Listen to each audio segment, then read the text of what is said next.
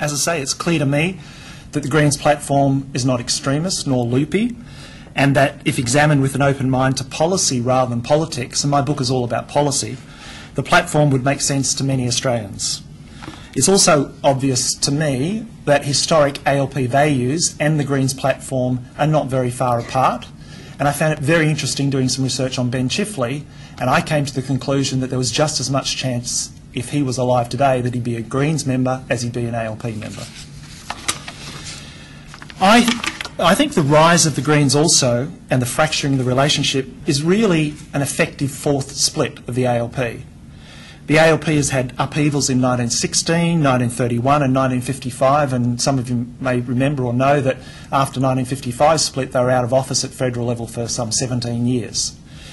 Um, that was especially damaging and by some of my research has shown that by the mid-1960s the ALP support base was narrow and especially limited in its appeal to younger voters, to women and to immigrants.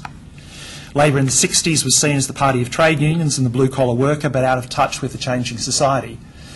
I remember the excitement as a young 10, 11-year-old when Whitlam was campaigning with the It's Time campaign. That was my first introduction to politics. And as I say in the book, when I was that age, I was learning guitar, and my guitar teacher actually had to stop because he could have been um, called up to go to Vietnam.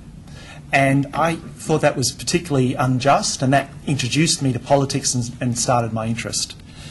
Um, I think the rise of the Greens is really a reversal of the broadening of the party that happened when Whitlam got into to the leadership position, and which was extended by Hawke. So I think the ALP had a pretty narrow base in the 60s. They broadened with Whitlam's leadership, and we're seeing the reversal of some of that with the Greens now having 9 to 14% of the vote, depending on, on the year.